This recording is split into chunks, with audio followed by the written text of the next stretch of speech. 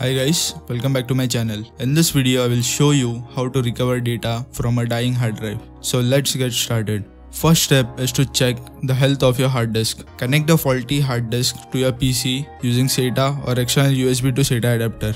There are many tools available but for this video we'll be using 3 main tools.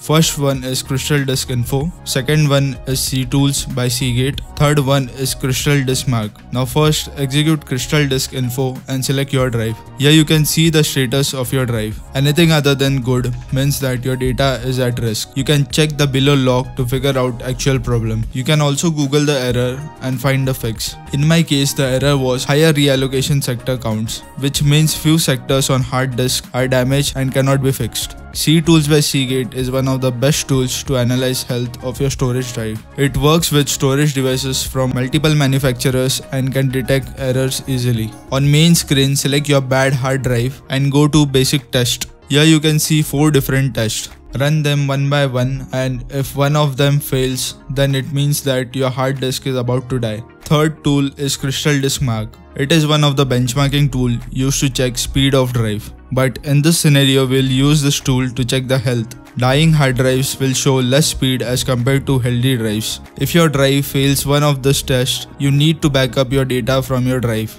You can manually copy data from bad drive to good drive, but if the drive is in really bad state, you will get speeds in kilobytes per seconds, which will make it impossible to transfer all the data.